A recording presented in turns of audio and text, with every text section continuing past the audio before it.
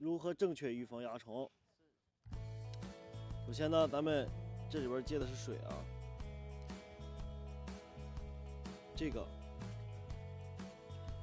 是咱们用用的是瑞丽的一个赛虫胺，咱们用了一升水，然后往里边放了四滴。这时候咱们一定要把这个药与水充分的摇晃均匀。你是来拉屎的吧？这个时候一样啊。叶子背面跟正面都是要喷的，大家能看到吗？这些黑色的都是些蚜虫，能看出来吗？喷完之后，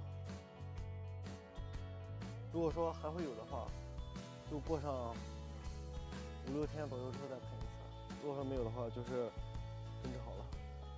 今天教大家如何正确处理红蜘蛛，首先。先用清水，咱们把叶片，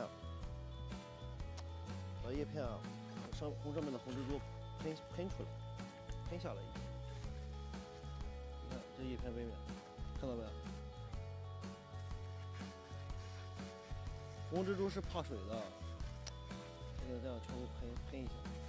记住，不只不要只喷叶片叶片正面，叶片反面也要喷。接下来咱们倒入清水啊，消灭红蜘蛛最好是用两种药，这个咱们用到的是八维菌素。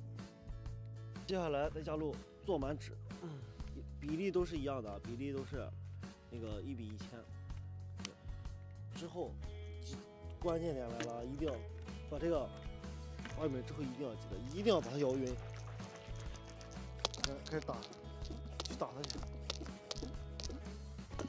花友们在打的时候一定要记住，不要只打正叶子的正面，叶子的反面咱们要一起来打上。